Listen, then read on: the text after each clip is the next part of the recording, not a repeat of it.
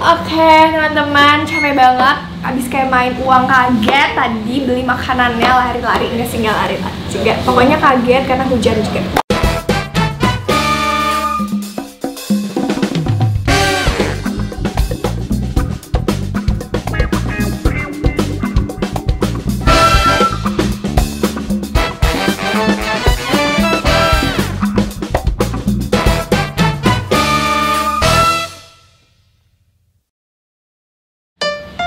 Oke guys, ketemu lagi dengan aku di sini dan Agri Sadewa dan sekarang udah sama Dianti lagi. Halo Oke.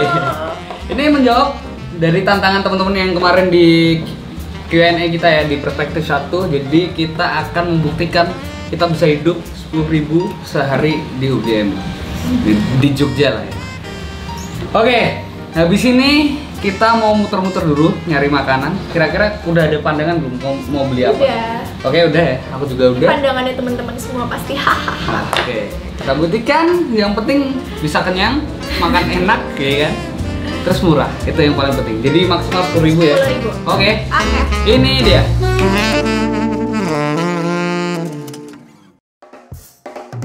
Oke, jadi sekarang kita lagi mau nyari makanan.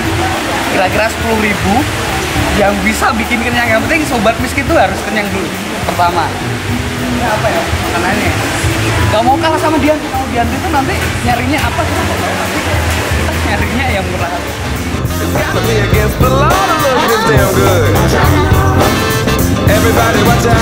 Iya nyarinya PR Iya langsung ketemu Tara Who doesn't love this Aku beli tuh Ini rasa ayam bawang Oh yang goreng ada gak sih? Mbak beli. Tanya-tanya dulu. Biar enggak nyesel. Oh itu. Iya Ini aja deh. Telur crispy itu dapat minum nggak kalau dibungkus? Nggak dapat, nggak dapat minum kalau dibungkus. Tapi 8.000 ya. Udah. Itu mbak telur crispy satu ya.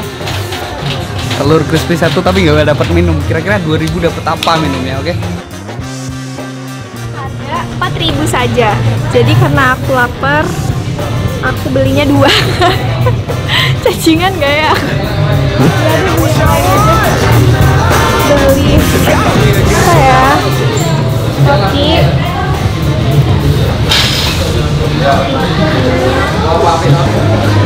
Eh, Oke tadi kan udah dapat makanannya. Kita harus nyari minum. Jadi biar paket komplit ya.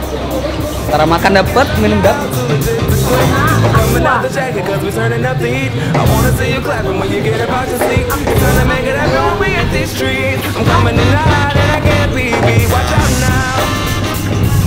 Nah akuanya yang 2000 aja lebih nih guys Oke. Oke ya, 2000 es teh 2000. 8000 ya, 8 ya. 8000 sama es teh 2000. 10000 ya. It's gotta be against the law to look this damn good. Ah, 300 This damn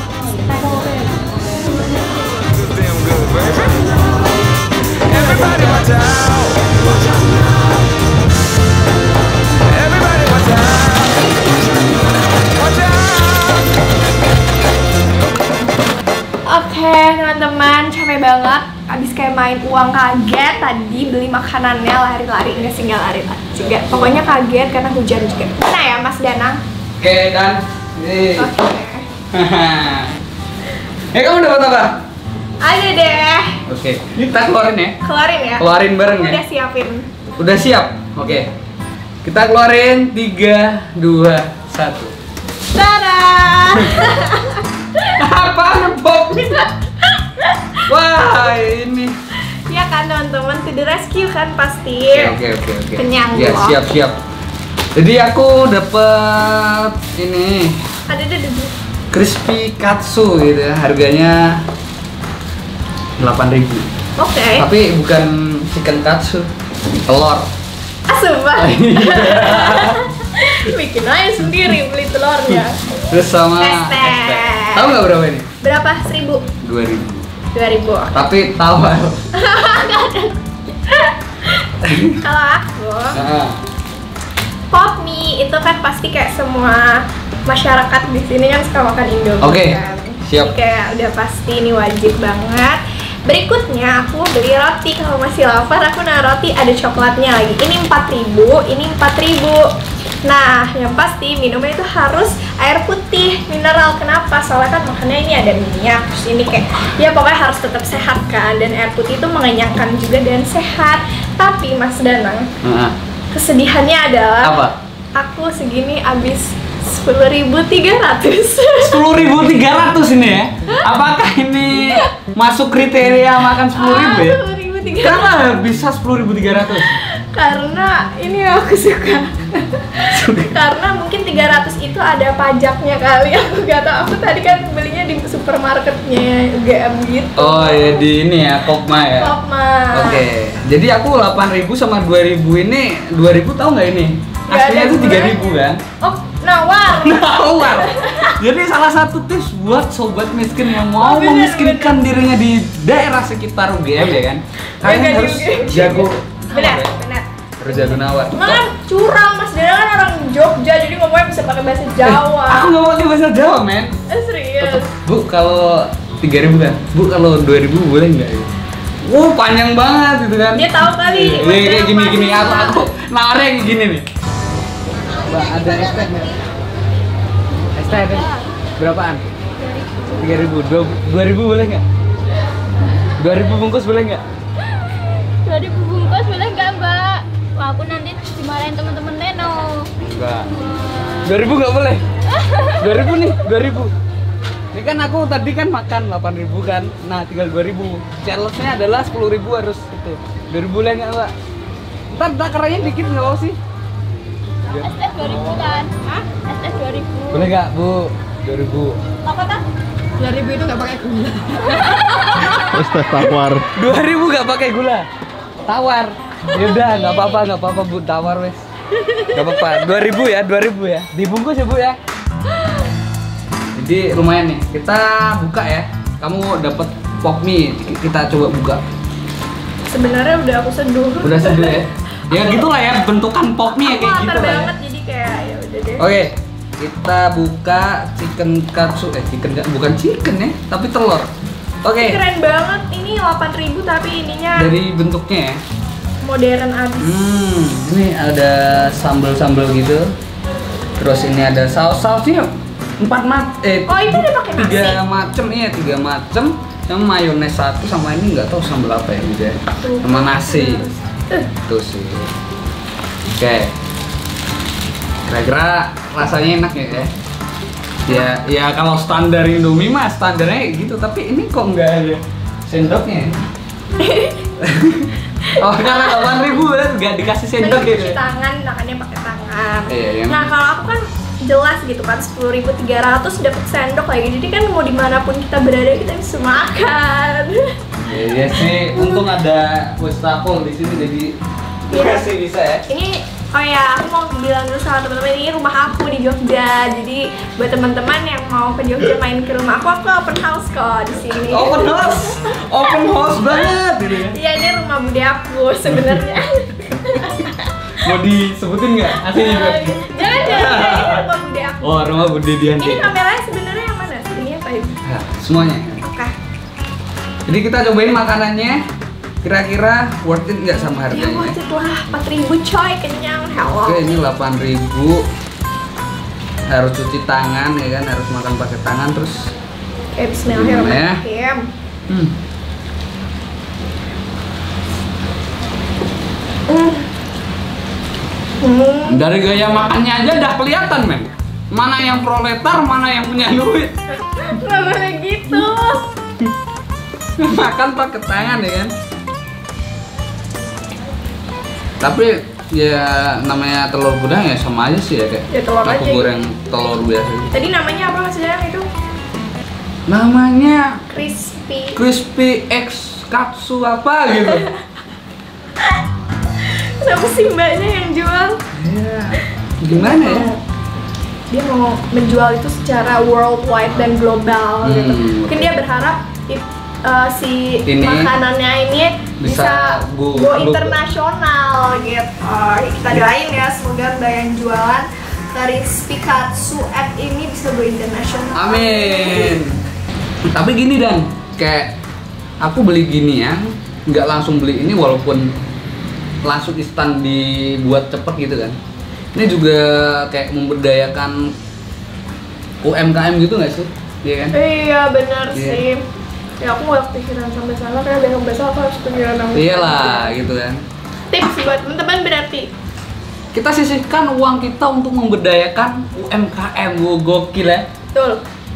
ya walaupun aduh ini kan buatnya juga proses nggak instan gitu jadi intinya gini teman-teman walaupun ini beda ya rasanya kalau di anti langsung buat instan gitu tapi kalau aku kan harus nunggu gitu mbaknya capek-capek gorengin telur gitu kan jadi ini adalah salah satu caraku untuk memberdayakan UMKM gitu sih dan kalau kamu gimana Setuju sih. Cuman aku tadi nggak kepikiran sampai situ soalnya kayak pertama aku lapar, Hmm. kedua aku sepuluh ribu doang gitu kan. Jadi kayak ya udahlah instan instan aja maklum. Aku orang Jakarta tuh orang di Jakarta tuh nih ya aku tuh seneng pindah ke Jogja tuh. Ternyata di sini tuh orang-orang yang aku temuin tuh nggak selalu instan mau maunya instan. Sementara aku tuh nggak sabaran gitu orang tapi di sini aku jadi belajar karena nggak semuanya yang instan itu sebenarnya baik. Berarti kalau kamu sepuluh ribu eh, mikirnya ini terus enggak sih ya nah Soalnya kan di kantin di Visipol tuh kan juga banyak kan kayak makanan yang makanannya oke sepuluh ribu tuh soto gitu ya. Udah biasanya paling soto gitu. sama es teh Bu siapa itu Es teh bu yang paling sini ya. Iya di Pitipul ada. Eh, si ibu tuh iya. Ya gitu deh. Jadi berhubung ini tadi kayak uang kaget ya saya capek banget juga itu hujan-hujanan tapi saya lari-lari nggak saya bohong. Jadi kayak udah Tidak. Enggak tuh. Menurut teman-teman nih, dari 10.000 yang kita keluarkan sama 10.300 yang Dianti keluarkan, kira-kira worth it yang mana? Hmm. Kalian bisa polling di sini ya. Di sini, oke? Worth it yang mana?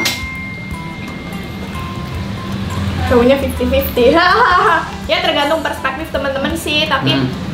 aku juga berpikiran kalau misalnya Mas Danang bilang kayak gitu tadi Bener juga Ada yang lebih murah lagi. Tapi nggak dibahas sekarang. Besok tunggu aku kasih tips buat kalian hidup itu 5000 per hari. Ya Allah Lebih ekstrim jangan kayak sampai saranin kalian makan seenaknya kalian Tetap enak men, 5000 itu. Pasti 5 ribu Oke. Ya besok aja ya, tunggu video selanjutnya 5000 per hari. Ini kan 10000 ya. Di Ini kan Mas Danang doang nih yang punya tips-tips tips-tips tips gitu kan Aku Iya. nggak punya pengen deh Kali-kali nantang Mas Danang juga tips apa ya? tips apa teman-teman? Tips Coba. make up gitu. Ini nggak bisa men. hijab tutorial nggak jangan jangan nggak boleh nggak boleh apa ya atau Mas Dana mau aku ajarin caranya jualan tapi nggak kayak jualan Oh, soft selling. Soft selling mungkin Boleh, bisa Bisa, bisa. Oke dan ya gitu ya. 10.000 nyiksa badan nggak? nggak Enggak. nggak karena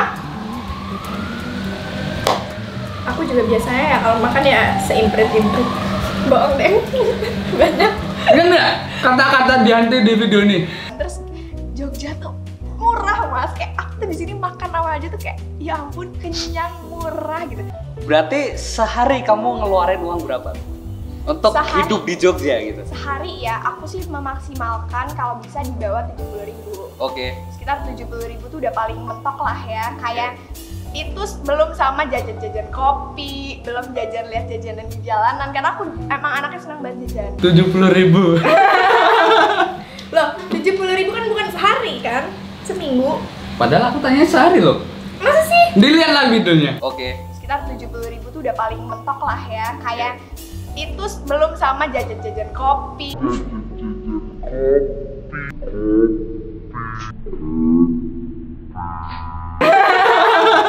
Tuh kan? 70 ribu sehari. masa sih Lupa sih dan dan. oh iya ya Ya. deh ntar deh Ya, gitu ya jadi gitu aja videonya untuk 10.000 sebenarnya bisa lebih ekstrim besok ya di video selanjutnya entah aku sendiri kasih tips sama kalian atau gimana? 5000 5000 sehari ya gitu. Thank you banget sama teman-teman yang udah nonton dan jangan lupa like comment share and subscribe. Dadah.